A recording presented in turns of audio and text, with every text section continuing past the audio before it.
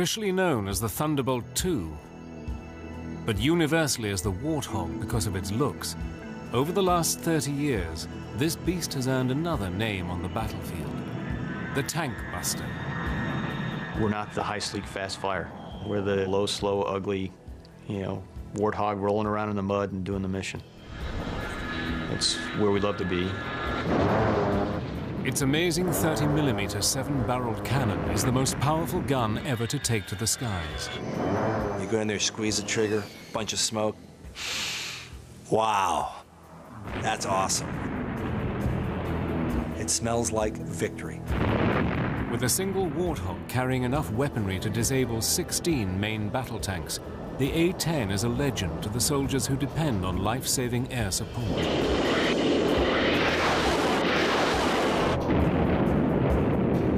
You can talk to troops on the ground and they love hearing that sound. It's the sound of freedom for them.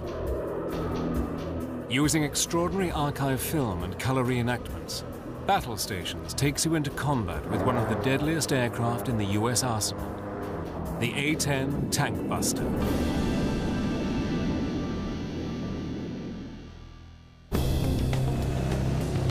Throughout Operation Iraqi Freedom, the A-10 Warthog was the most well-known and feared plane in the U.S. Air Force. I think it was the best equipped Air Force and Army ready to fight that, that we could have. Its ability to work in close support with ground troops, to take out enemy positions and tanks, and to act as a spotter plane made it a linchpin in the victory over Saddam Hussein and his regime. We're kind of like the insurance guy up there, or the 911 force. Uh, when they need help, they call. And that's who they expect to be there. But for the vision of a handful of men, this aircraft might never have been built.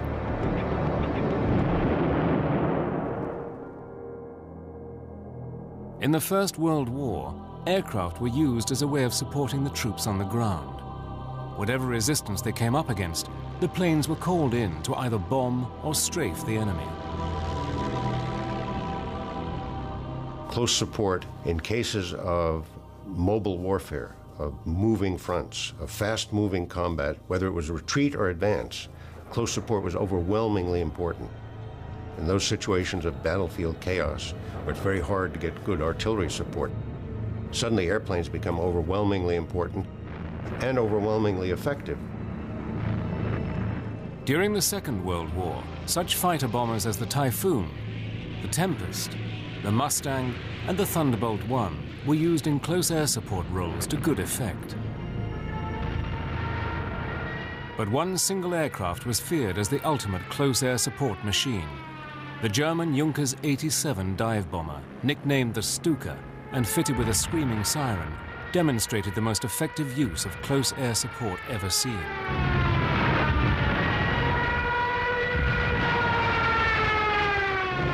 This is a time when the Germans were enormously outnumbered by the Russians and yet having extraordinary successes against very heavy, huge Russian tank forces. And a key component of that were these Stukas, of which the most famous unit was led by Colonel Rudel, who was the most decorated pilot of World War II. Colonel Hans Ulrich Rudel's unit wreaked havoc on the Russian front, with Rudel himself amassing a personal score of 511 destroyed Russian tanks. But with the defeat of Germany in 1945, the success of close air support was largely overlooked. On September the 18th, 1947, the United States Air Force was born. Its main focus, to deliver nuclear weapons.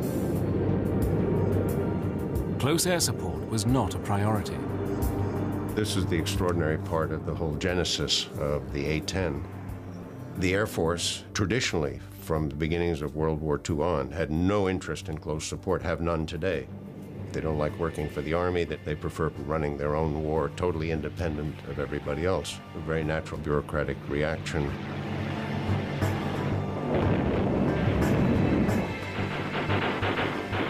During the Vietnam War, the Air Force had to rely on aircraft such as the A-1 Skyraider to protect its ground forces. But what was clearly needed was an aircraft specifically designed to carry large bomb loads, absorb heavy ground fire, and fly for long periods at low altitude over the battleground. Taking the initiative, a group of highly skilled engineers at the Pentagon came up with the specifications for a close air support aircraft, with the hope that the Air Force would eventually see the light.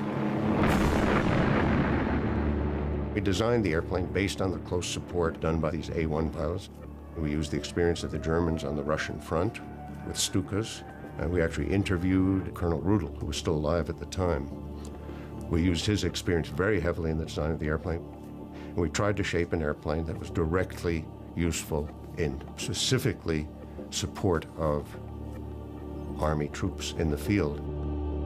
A first in aviation history, the Air Force eventually initiated a competition for an aircraft to be specifically designed for close air support.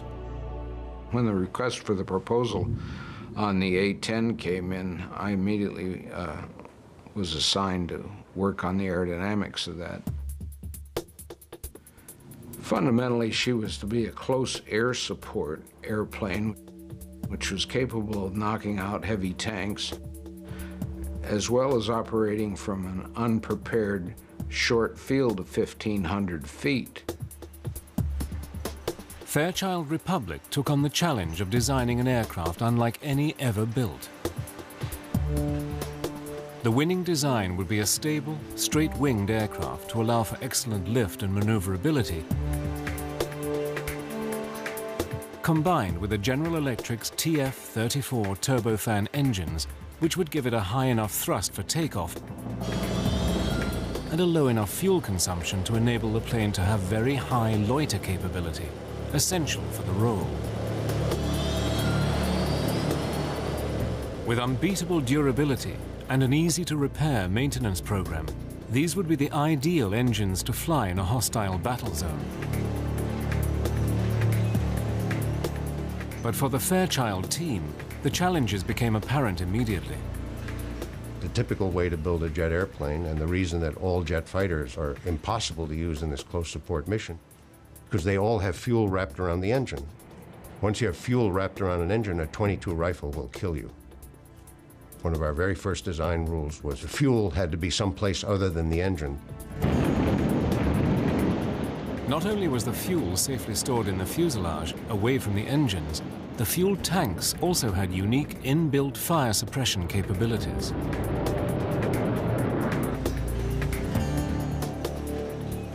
The aircraft's hydraulics could also withstand serious firepower.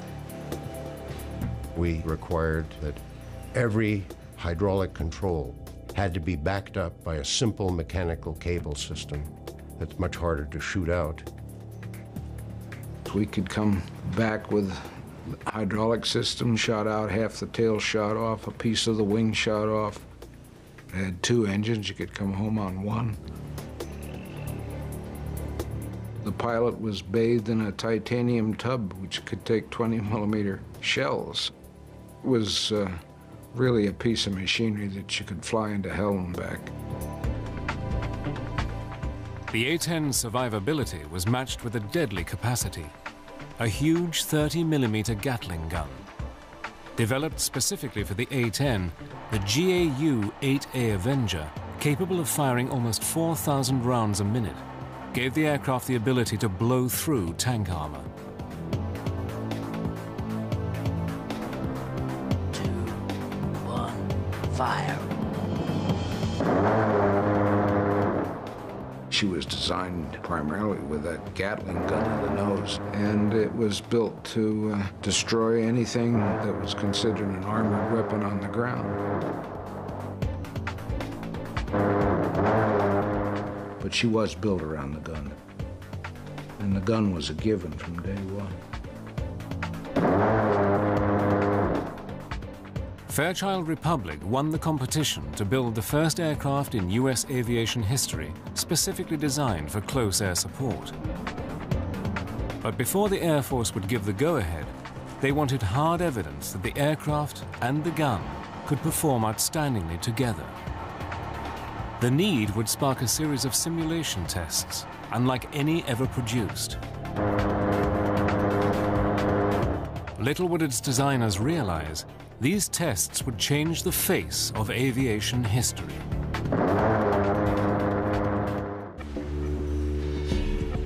Fairchild Republic had produced the ultimate piece of machinery to perform the role of close air support. But the Air Force was reluctant to go into production until they had seen for themselves that the aircraft could fulfill its very specific combat role. In a series of amazing tests, the A-10 and its remarkable gun were put through their paces in an effort to create a full-on Cold War battle scenario. We had secretly assembled what we proudly boasted at the time was like the third or fourth largest tank army in the world. Over 300 Soviet tanks from all over the world, off junk heaps and whatever, out in the desert outside Las Vegas. So we ran a program with A-10s, with a gun installed, and with the current ammunition as it was going into production. She had a very strange sound to those engines, very characteristic, and to this day, every time I hear it, I look up uh, because I know it's my bird. we knew what she'd do, and she didn't disappoint us.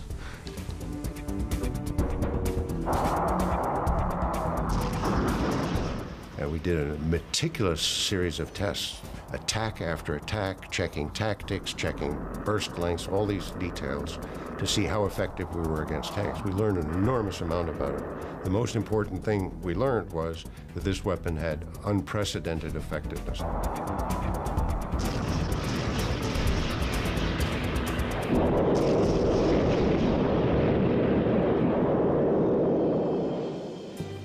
During the Cold War, the threat of Soviet tanks advancing on Western Europe was at times a very real possibility.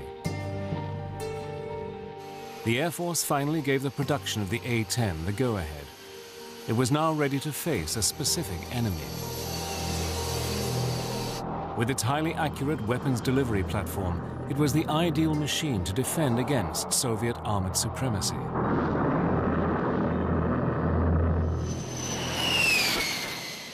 The first A-10 arrived at Davis Monthan Air Force Base, Arizona, in October 1975.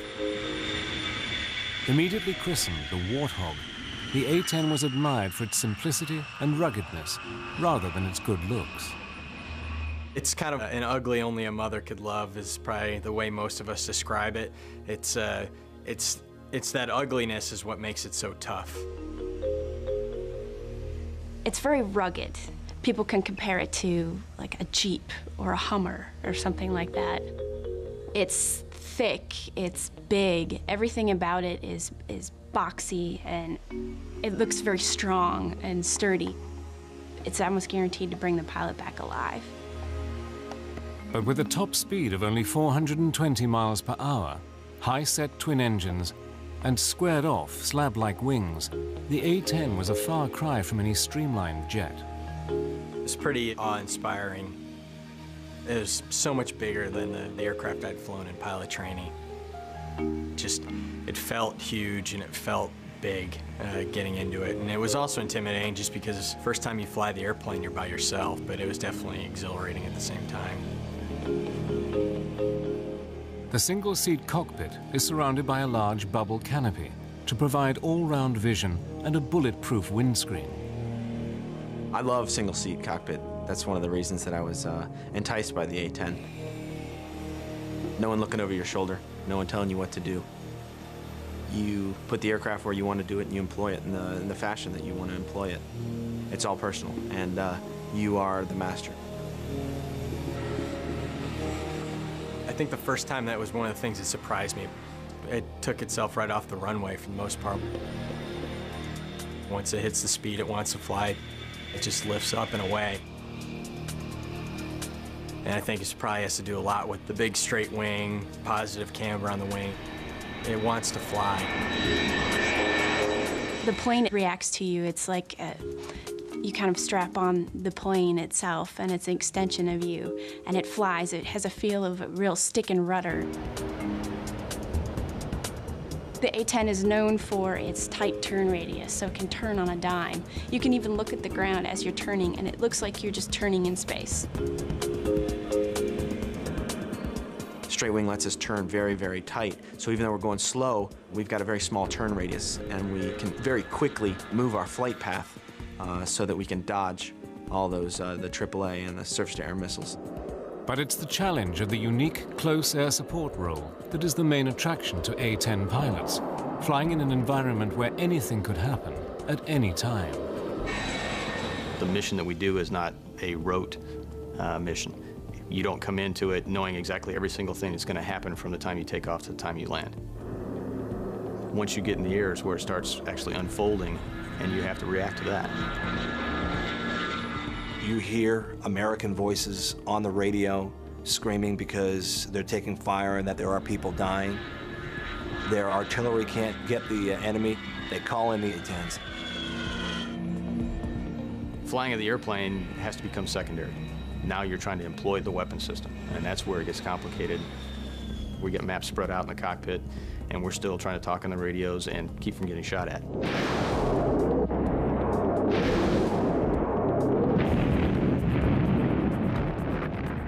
We consider ourselves the last gunfighter uh, that's really out there because when you go into battle and it's a close-in CAS fight, the number one weapon of choice of an A-10 pilot is going to be their gun.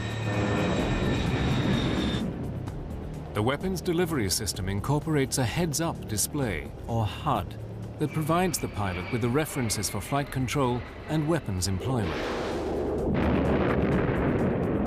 It's incredibly accurate for a gun system and uh, probably one of the most flexible weapon systems in the world.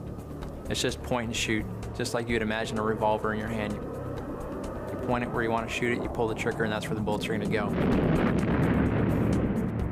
When you roll in and, and you pull the trigger for the first time, you get excited and the adrenaline starts pumping through, and it just, I had the biggest smile on my face. What a feeling shooting the gun. I mean, the whole airplane shakes. First time I, I fired the gun, you know, I had to come off the trigger because it scared me because I couldn't believe something like that could come out of the front of the airplane, all the flames, the smoke. Its 30 millimeter bullet is the size of my forearm, and that smell of gunpowder, you get that in the cockpit after you fire the gun. And it's just incredible. It's, you get a little bit of a high from it, I think, sometimes. It smells like victory. But it would be some time before the pilots would be using their gun in anger. With the ending of the Cold War, the mass tank fleets of the Warsaw Pact no longer seemed such a threat, and the US Air Force planned to withdraw the A-10 fleet from service by the 1990s. But with a serious situation brewing in the Middle East, all that was about to change. The Warthog was about to play a key role in bringing down one of the most destructive individuals of recent times. In September 1980, Iraq invaded Iran, beginning one of the longest and most destructive wars of the 20th century.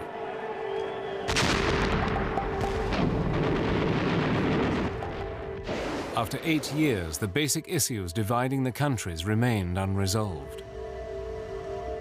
In an effort to contain the Ayatollah Khomeini and the spread of Islamic fundamentalism, the West backed Iraq.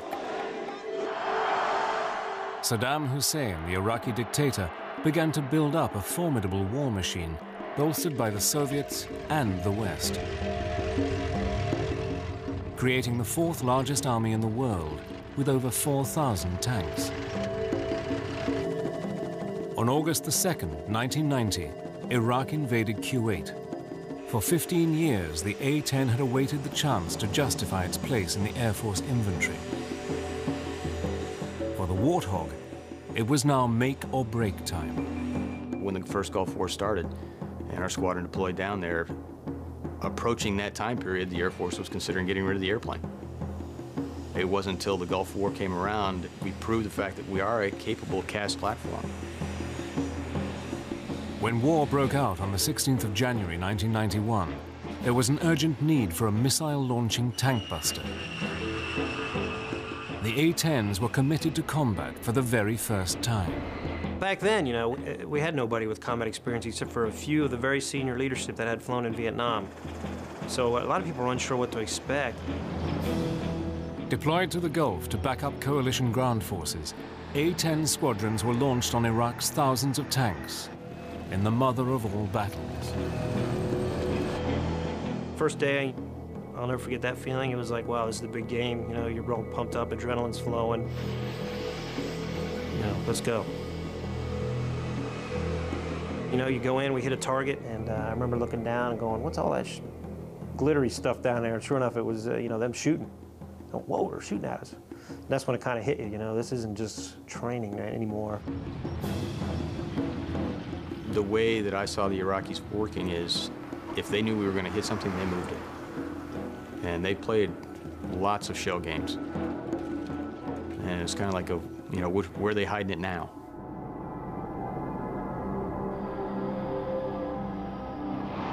By February, the coalition air forces appeared to be dominating the skies, and the A-10 was seemingly invincible. And we're feeling pretty confident. You know, if you survive your first 10 combat missions, your chances of surviving the war are pretty go up significantly. Major Rob Sweet was on his 30th mission for Desert Storm. On the 15th of February, he was the wingman in a two-ship mission launched deep into Iraqi airspace. It was a little far into Baghai land for an A-10. It was uh, about 100 miles past the border where good guys were. And my flight lead, who was obviously a lot more experienced and wiser than I was, was a little concerned about the mission. With the Iraqis' ammunition running low, Saddam's forces were being more selective about their targets and seeking to maintain a higher strike rate.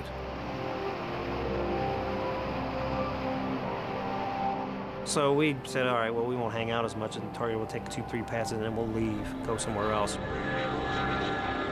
There's a formation of tanks in a circle about three miles in diameter, uh, no craters anywhere, and we were kind of aware that maybe these were plywood dummy targets. Sweet's flight leader rolled in to take a closer look at the target, and then cleared his wingman in. For Sweet, what began as a routine mission was about to turn into his worst nightmare. As I'm coming off, sure enough, here comes the uh, SAM.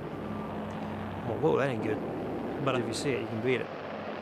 So I saw it, put out some chaff flare, I kind of pulled around it, and uh, and it missed, sure enough. But it got it was close. In fact, that is as close as I'd ever been come to getting hit by anything. So I went from being, whoa, that scared the living daylights out of me, to uh, losing my professionalism somewhat and getting really pissed off at this guy for scaring me. So uh, he, he was going to die for, for doing that. As I was rolling in, you know, I felt a loud bang in the airplane, and uh, I went, ooh, that isn't good. And I looked back, and uh, I didn't like what I saw.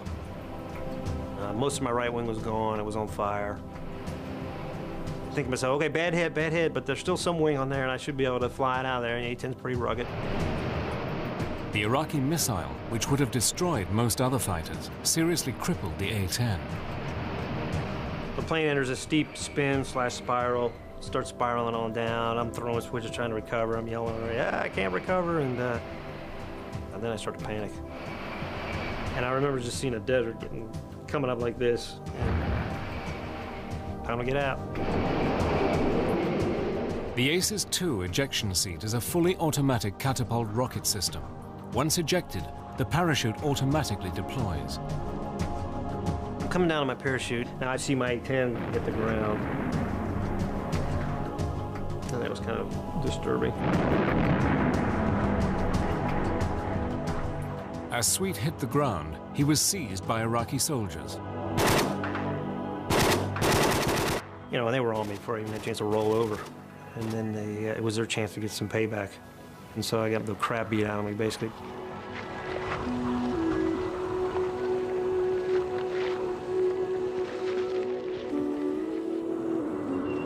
Taken away to a command bunker, he was interrogated. I thought I was going to get shot at any moment, you know. It took me about three days to figure out, hey, they weren't going to just arbitrarily execute me. It was worth something to them, propaganda or intelligence or something. In March, Major Rob Sweet was eventually released as part of the prisoner release program. This is when I found out what happened to my flight lead. After I had been shot down, my flight lead had been shot down. And it turns out he never got out. Lucky to be alive, he spent four months recovering from his ordeal. If I would have been flying any other fighter when I was hit by the SAM, and it was a bad hit, I'd be, I'd be dead right now. But despite this, the aircraft proved more versatile and better able to survive over enemy territory than anyone had expected. During the 40-day conflict, the A-10 force destroyed 987 tanks, 926 artillery pieces, 1,355 combat vehicles, 10 fighters on the ground, and two helicopters shot in air-to-air -air engagements. The Air Force's ugly duckling earned a new nickname, the Tank Buster. The result confounded all those who had questioned the need for a dedicated ground support aircraft. Flying a staggering 8,500 sorties, A-10s were responsible for more than half of Iraq's losses of military equipment in Operation Desert Storm.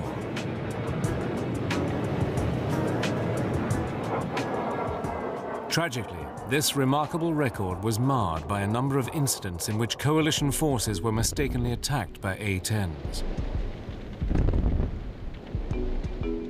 Now, there was an incident yesterday in which an American A-10 inadvertently fired on two of our infantry fighting vehicles. The aircraft was one of several which had been called in to deal with an enemy position, and the incident itself is, of course, under investigation. Nine British soldiers were killed. The Air Force was adamant that it could eliminate friendly fire incidents. What nobody knew was that the next challenge for the A-10 would be in an entirely new and forbidding battlefield, Afghanistan. The A-10 had proved itself a success in Desert Storm, but for this aging aircraft to remain integral to the Air Force attack plan, it would have to meet the constraints of an ever-changing battlefield. The A-10 got quite a few upgrades no new engines or anything like that, but more avionics upgrades. We were able to uh, incorporate systems that had, that had come online, uh, the global positioning satellite systems. The A-10 was the first fighter to fully integrate with the night vision devices. Uh, the whole cockpit is, is modified to use night vision goggles. Um, we've been training with them longer than pretty much any other fighter community, and uh, we've gotten very good at it. The A-10 was destined for a new mission. On September the 11th, the war against terrorism began. Our response involves far more than instant retaliation and isolated strikes.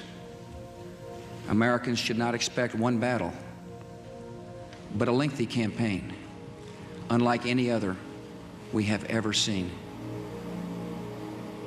The Warthog strengthened Operation Enduring Freedom by spearheading urgently needed around-the-clock cover for ground troops in Afghanistan.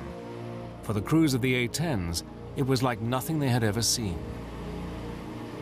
We arrived in uh, Bagram, reported to my commander, and I said, boss, this has got to be the scariest place on earth. We really felt like you were in the middle of a combat zone, and we were. The A-10 was the ideal aircraft for the Afghanistan battlefield. The jet is versatile enough to navigate mountainous peaks and deep valleys, while also patrolling and pinpoint attacking its targets. It wasn't bad flying over the mountainous terrain. The bad part was if I ever had to get out of the airplane, there's a lot of snow down there. That's not a good place to be. Uh, going from a nice warm cockpit down into the snow is not an idea that I want to have to uh, fulfill. The airplane higher altitudes than what we normally would fly just because of the heights of the mountains over there. Uh, we were able to go places that the other fixed wing assets may or may not have been able to get in very well. Uh, and we definitely went places that the helicopters couldn't get in.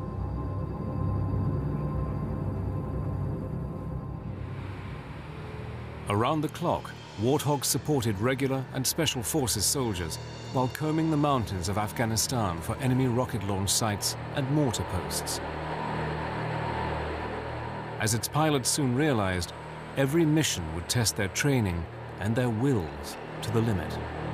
We showed up just past dark, and got a brief, was handed a set of maps, and was told, hey, there's a lot of ground guys who are in trouble. Go out there and do what you do.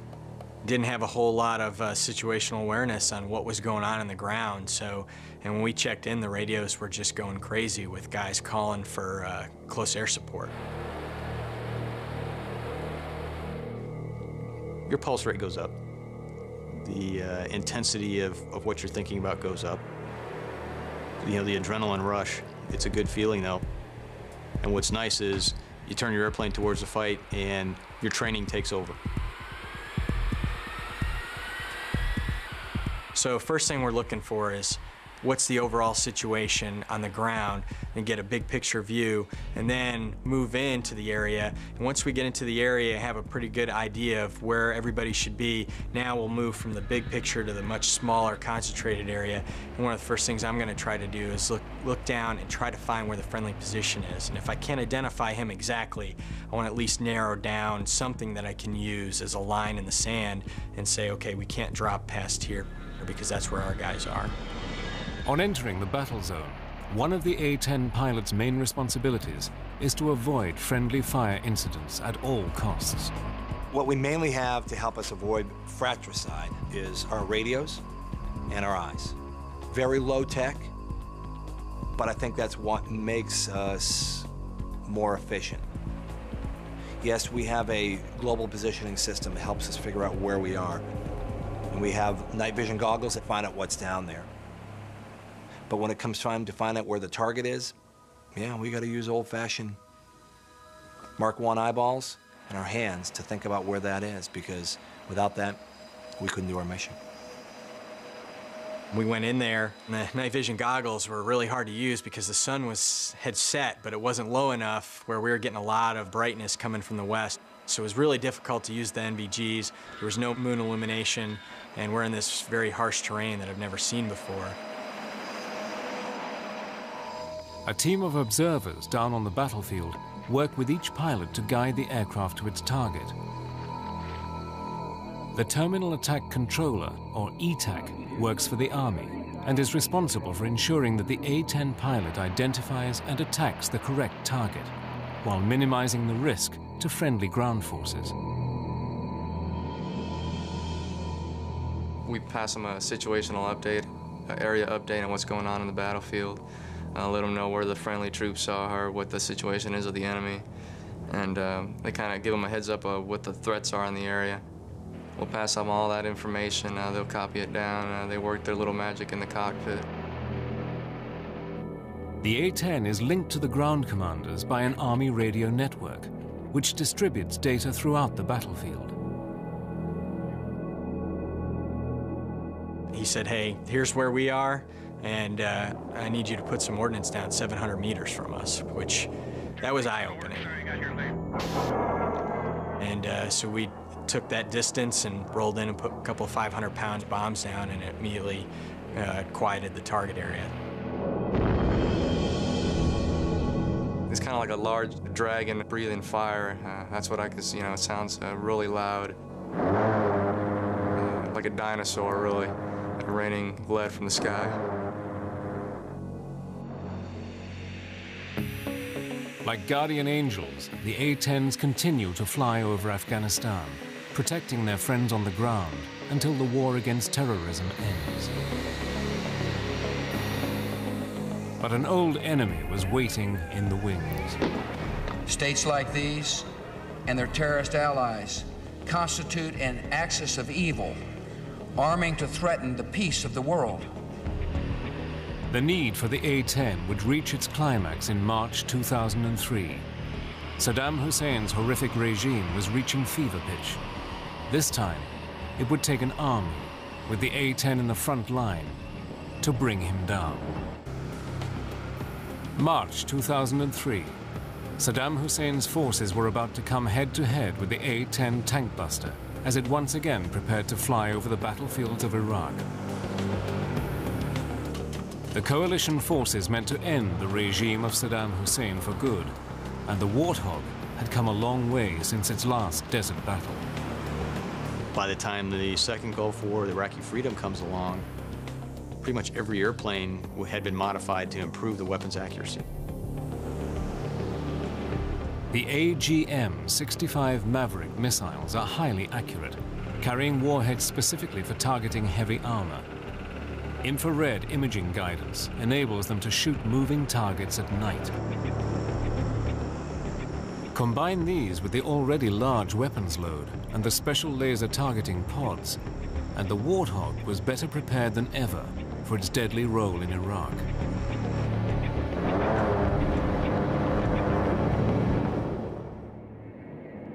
Flying from the seized Tallil air base in southern Iraq, A-10s flew numerous sorties as coalition forces launched one of the greatest military offensives since the Second World War. The assault on Baghdad. For the A-10 crews, it would be the challenge of a lifetime. We're flying up towards Baghdad.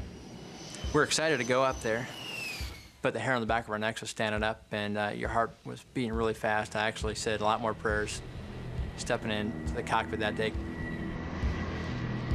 There's all those different emotions running through your mind, and you're saying, please, you know, let me do what I'm trying to do and do the right thing. Calling the Warthogs to their targets, another essential member of the ground command team, the Forward Air Controller, or FAC. A-10 pilots take turns to carry out this job, using their specialist knowledge of the mission in the air to coordinate with the soldiers on the ground. We go to a battalion and uh, we speak Air Force to the Army. We make sure the uh, no fratricide occurs. Uh, Air Force doesn't shoot the Army, Army doesn't shoot the Air Force. Keep them deconflicted, but then secondary to that is make sure that those A-10s affect the battlefield for the Army. Everyone's talking, just trying to get permission uh, to actually execute the attack. And those sound like simple questions, and this sounds like, you know, pick up the phone, ask, but when you're asking uh, one airplane who's relaying to another guy who's probably, uh, you know, four or 500 miles away, sitting in a room somewhere, it takes time. And oh, by the way, every aggressive fighter pilot in Iraq at this point is making the same phone call, trying to get permission. Thanks for the work, sir. You got your name. The FAC is the A-10 pilot's first point of contact on arrival in the area. Part of his role is to provide the pilot with the target coordinates, which he does with great efficiency. It sounds cold-hearted, but it's very systematic, you know? They tell us the targets, we find the targets, we kill them, we report it's killed, next target. And it just goes, next target, next target. On arrival over the battlefield, the A-10 pilot often uses basic technology to locate exactly where the target is. In pilot Eric Yahimowitz's case, an Iraqi missile site. I went down with the binoculars and was searching the target coordinates. Uh, the six missile launchers weren't where they were supposed to be. So it took me a little while to search the area. The Iraqis had moved them probably about uh, half a mile to a mile away. You know, I'm thinking to myself, okay, I don't know if that radar operator sees me with that missile, and uh, but I see the target next to it, and uh, it was just an awesome feeling. Your focus then, all of a sudden, is into this one little area is what you're looking at. As you roll down, pilots call it the chute, or when you roll in to employ, that's it, the whole world melts into just this little area. And I was able to lock this thing up and fired that missile, and it came screaming off the rail. From over 17,000 feet, the long-range 300-pound launch and leave Maverick missile traveled to its target. For Yahimowitz, the seconds seemed to go on forever. I'm waiting and I'm thinking, oh man, the missile went stupid. You know, it went flying into Iran. It should have hit by now. And uh, I'm like, oh man, I'm in trouble. It just felt like an eternity. It is surreal. You're so far up, it's hard to hear anything on the ground. You're so used to hearing the jet. It's like the white noise of having a fan in the background. But then all of a sudden, boom, I mean, just a massive explosion, and it is totally elation. Now I know I got him. You pull off, get a little more altitude, and then turn back and uh, take a look. And it's a little fire show for you. it's just so professional, it's unbelievable. There's not a lot of hooting and hollering, and you know, it's not like Top Gun, people screaming, yeehaw. I mean, it's, it's war, and people are dying, and everyone knows it. You know, we're sitting on the edge of our seats, concentrating that we don't get shot down for once, and then uh, that we don't hurt the wrong people. Going in there, I said I have two objectives. One, zero fratricide. Two, affect the battlefield. And they were in that order. My number one goal was to prevent fratricide. Knowing where the friendly forces are is paramount if the A-10s are to protect them. And losing sight of troops on the ground can lead to mistakes or deadly friendly fire. As a fighter pilot, that's our first job to find out, is there anyone out here that we don't know about? You know, it comes down to a fight with uh, friendlies nearby. Weapons release is going to be authorized by the guy on the ground. So you have to have that warm fuzzy that you've got the complete picture, that you know these are friendly troops, those are enemy troops. But even with all the advantages of modern technology, relying on this alone would seriously jeopardize the troops on the ground. Yes, there are technological ways. There are also old school ways, given a good talk on, making sure you're confirming with that uh, aircraft that he really does see the friendlies. There's a, a, thousand ways to make sure that he's looking at the right thing and you're all, you all are on the same page of music. And uh, I used every single one of them because I'd rather drop uh, zero bombs and have zero fratricide than drop a thousand bombs and have one be on a friendly position. Despite the fear of horrific friendly fire accidents, the feeling of flying the plane is the love of every hog driver and the reason for signing up. It's no race car, you know, it's not the Porsche, you know, it's, it's not even a pickup truck. In such a neat, neat airplane, because I feel like I'm flying with the seat of my pants. I can feel everything that's happening to the airplane. None of it's magic, it's all me. Whatever it does, I made it do. The 60 Warthogs deployed for Iraqi freedom dominated the skies, firing an incredible 311,597 rounds of 30mm ammunition. The flying gun performed superbly. We lost a few folks in the first Gulf War. Uh, we didn't lose any in the second. Lost airplanes, but we didn't lose people. Uh, that's a testament to the aircraft itself. If I had to, to be in an airplane and be shot at, the A-10 is the only one I want to be in.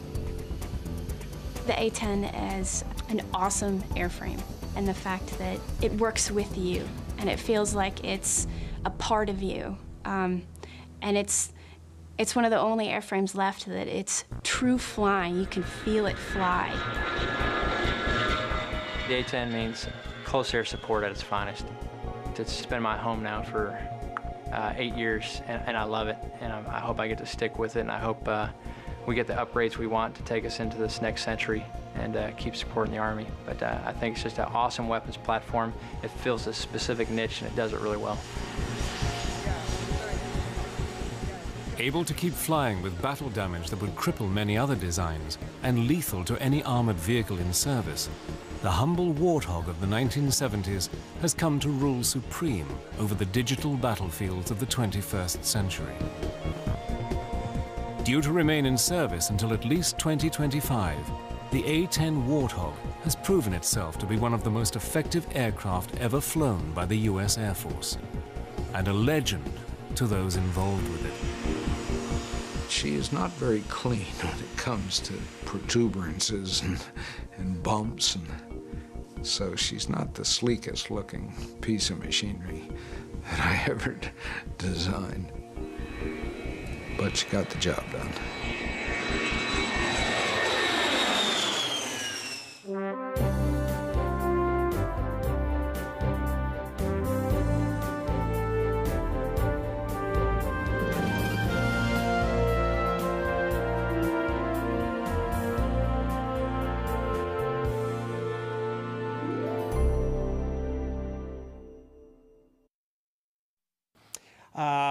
To the Air Force Academy, and I became interested in that when uh, my a friend of mine in high school's older sister went, and that's how I found out about it. sounded interesting, free education.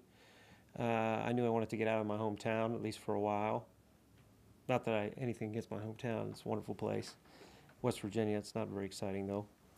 Uh, so I went to Air Force Academy, uh, class of '88, and uh, when you're a cadet there, you do some basic flying, gliders, Cessnas, and I really uh, took a liking to it and thought, well, this is what I want to do, at least for the, the near future. Uh, so I graduated, and back then, if you graduated from the academy, you were guaranteed a pilot slot, uh, no matter what your grades were. and uh, so I got a pilot slot, unlike ROTC where you had to be pretty, you know, kind of 4.0 student to get a pilot slot. So I uh, went to pilot training out of there and uh, in 1988 to Columbus Air Force Base, Mississippi, and uh, I was pilot training class 8912. Did pretty well. Got my first choice, which was uh, the A-10 to Myrtle Beach, uh, specifically because I wanted to uh, not only fly the A-10 because I thought the mission was interesting, and uh, it was green and it flew low and it had shot bullets and drop bombs and all that neat stuff, but. Uh, also, they were at Myrtle Beach, which was a primo place to be stationed. I used to go vacation there in, in the summers, and you know, living life at the beach as a single guy on fly status was pretty nice, pretty attractive at the time. that was mostly our focus at the time. Well, a couple weeks later, just out of nowhere, you know, to us anyway, Saddam Hussein uh, decides he wants Kuwait and he takes it. Uh, we get recalled, and uh, initially my commander told me I wasn't going. I was the youngest guy in the squadron, and uh, we were overmanned uh, back then. And uh, of course, I wanted to go. You know, who wants to be left behind, especially for a young guy? I want to be left behind. I want to go. Don't want to be left out of fights. But I ended up going. Some guy had a, one of the guys' uh, wife was about due, so he stayed home with her and for a little while. Well, you bet, because uh, a lot of us were angry. I was angry. You know, we're stuck over here for six months because of you, so uh, let me at them, quite frankly. You know? Anyways, I, I was a young guy again. I had a uh, uh, we felt like it was being empowered to us to get uh, get us out of there and get home, as opposed to some diplomat somewhere. Now it's our turn to get us out of here. Plus, you know, we wanted to liberate Kuwait. They obviously took that and belonged to them. They were being uh, mean, and you know, we're hey, you're not supposed to have uh, you know, this is the end of the 20th century. You're not supposed to have dictators anymore, right? Okay, yes. When I saw the SAM, it uh, you know there was a it was a nice white smoke trail following it. Uh, you couldn't miss it really, with a little plume where it had launched out of the of a revetment. You could see the rocket motor, and uh, you know it wasn't moving in my canopy laterally. You know, two dimensional picture is just getting bigger. It ain't moving left or right, which means it's, it's on a collision course. And so what you want to do is get it to move left or right, preferably uh, aft, so it'll miss behind you. You want to see some what they call line of sight, relative motion. Uh, so I made that happen, and sure enough, the last minute it went real line of sight, real far to the back, and, and missed behind me. Uh, so I went from being whoa, that scared the living uh, daylights out of me to going to uh, losing my professionalism somewhat and getting really pissed off at this guy for scaring me. And uh, so you know he, he was going to die for, for doing that because you know he where that SAM launch came from, there was no mistaking where it had come from. Uh, my flight lead rolls in. He uh, puts some 30 millimeter down on it. No secondaries. That means nothing blows up. So we weren't sure if we hit it. Uh, I'm about ready to roll in. You know, now we should have left at this point because we're almost out of gas. In fact, we would have left if, if I hadn't got launched on by SAM. But uh, we were, we made guys pay for shooting at us. You know, if you're going to shoot at us, you're going to pay. And uh, as I was rolling in, you know, I felt a, loud bang in the airplane and uh, kind of a pop. And I went, "Ooh, that isn't good." And uh, kind of I, I, had been rolling in, so I had some bank in, and it rolled me wings level. And I looked back, and uh, I didn't like what I saw. Uh, I had uh, been hit by something, a SAM launch, because about the time I'd been hit was when my flight lead called out the SAM launch.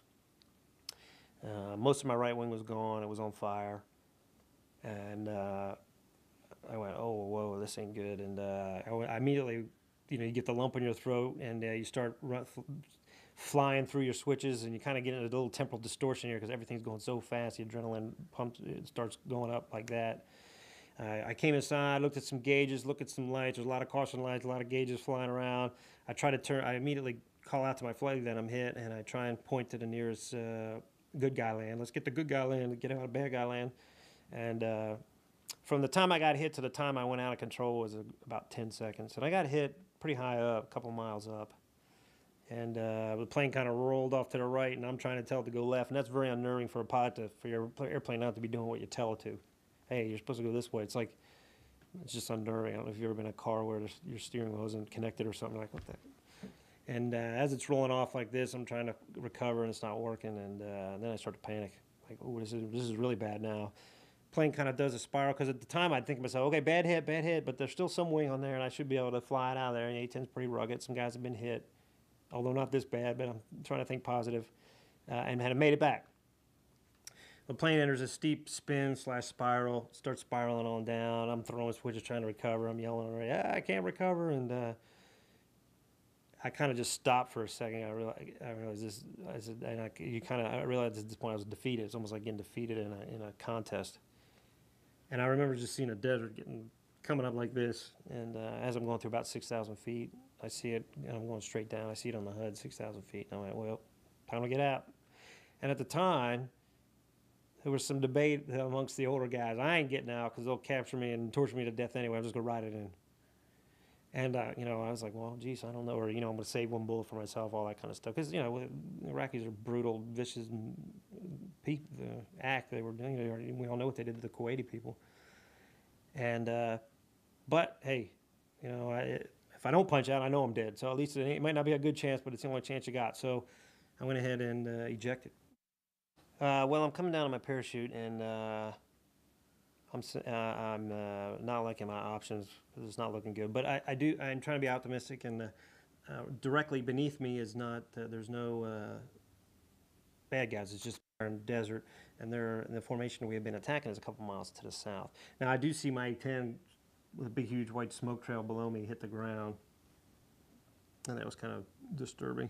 But uh, as I'm coming down, I, I, think I'm thinking to myself, okay, well, I'm going to hit the ground here.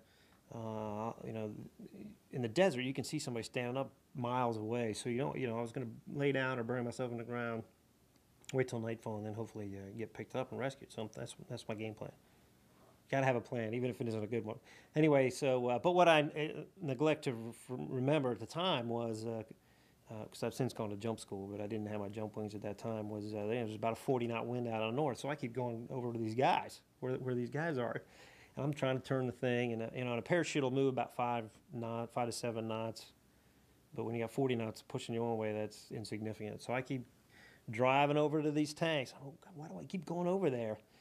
And as I'm getting lower, I'm thinking, well, maybe these really are dummy tanks, and there's you know there's not anybody around. But as I get you know a thousand feet or so above the ground, I like know those are real tanks.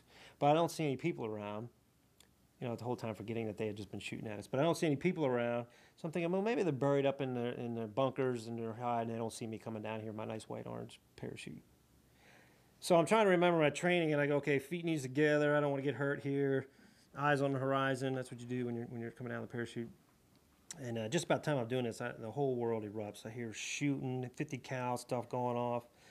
I'm like, good goodness, how you know how can they miss? Um, at first, I thought at the time I thought they were shooting at me. Later on, I thought maybe not. Uh, as I reflected on it, they may actually have been just shooting in the air, or they may have been shooting at my flight lead, and I'll talk about that here in a second. Uh, so I look up, and I happen to, I'm about I'm about ready to hit the ground, but I, I looked over to my left side, and there's a T-72 about 20 yards, which is a main battle tank that way. There's about 40 or 30 guys in a line here, and there's about another 30 guys in a line here, all about 10, 12 yards, 20 yards away. So I'm like jumping into a football stadium. And so, whoa, I, you know, I, I immediately made the rookie mistake of trying to stand up. You can't, you know, it's like jumping off a two-story building. You can't land on your feet. You're going to fall on your face. But I tried to do anyway, and if it would have been hard ground, I would have broke my leg. But I didn't want to. I didn't want to lay down. I wanted to try and stand up and stand my ground or run or something. Uh, so I stuck my one foot out to try and do that, and of course I went feet face and landed right on my face and uh, tore my Achilles tendon. Not all the way, but about three quarters of the way. So it swelled up and caused me problems the rest of my captivity. But uh, you know, they were on me before I even had a chance to roll over.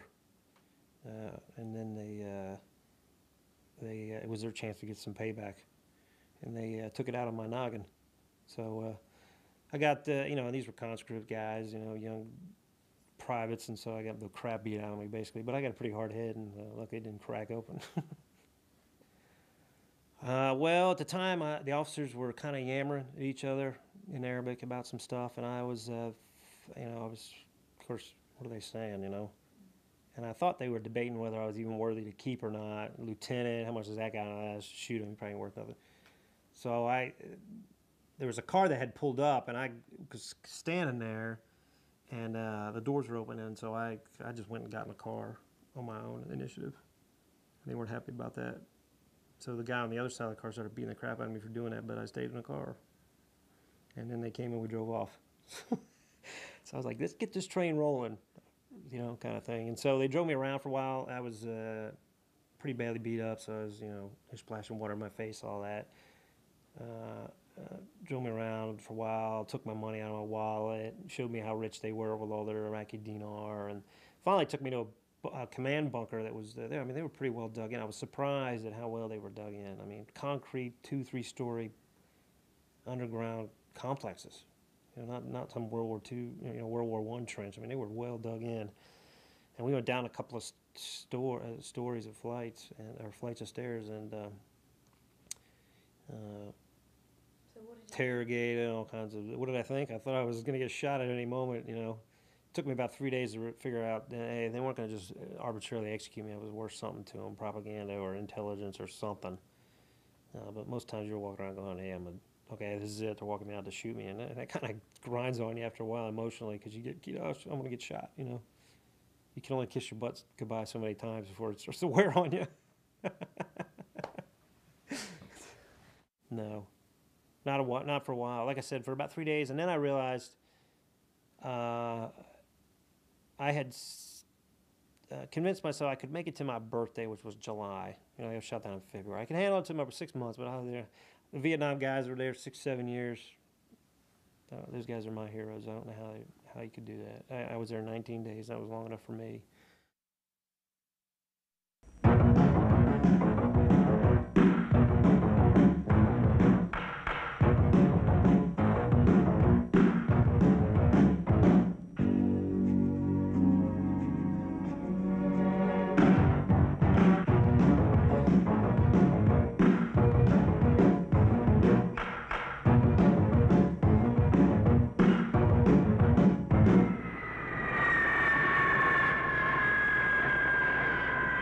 The A-10 school we have here is the only active duty training unit of its kind in the Air Force. Good afternoon, gentlemen. Welcome to Davis Monthan Air Force Base. I'm Captain John Boyd, and I'll be one of your instructors. Over the next four months while you're here, we'll teach you how to fly and fight in the A-10, which is the first aircraft specifically designed for close air support of Army operations. We'll cover such subjects as aircraft systems, weapons effectiveness, and tactics we can employ in the A-10. Okay, Brian, let's set up for the target run. Gas is 8 over 12. Engines look good. Unlike an RTU or a training unit for any of the other fighter aircraft, the A-10 community is a little different. The A-10 does not have a two-seat capability. He'll have about six to eight hours of simulator time. Therefore, when a student flies the A-10, the first time he takes it up, he's solo. So our role as an instructor becomes a little bit more complex sometimes because we're placed in the position of trying to evaluate his performance while flying a totally separate aircraft. Well, aside from flying, I consider the instructors the best part of this program because they, uh, they're really motivated to teach us how to fly. The instructor that you fly with is flying off of you on your wing, or you're flying on his wing. Therefore, we are totally in control of our aircraft and what happens. So if something does go wrong, then it is up to us to get back on the ground. The biggest advantage of being an instructor pilot in the A-10, as I see it, is that when we instruct a student on how to fly the A-10, we also get to fly. So let's say, for example, on a surface attack ride, the student's going to go out, drop some bombs, and shoot the gun, of course. We're going to be instructing him on how to do it and how to improve his scores. But in addition to that, while we're instructing, we also get to drop and to shoot. So our continuity and our training continues, even though we're serving primarily as an instructor pilot for most of the flights at Davis Monthan. Lieutenant Gingras, today's mission will be SAT-7 out of a series of 10 surface attack tactical rides. In keeping with the syllabus, this will be a high threat sortie. We'll be working on the East TAC range with two IPs, Alpha and Bravo, running in from Alpha first. Remember, it's critical that you depart right over the IP itself, be at altitude and on speed. Fence check complete, ready for chaff and flare. You're actually going to be leading the departure from the IP today while I'll be in chase.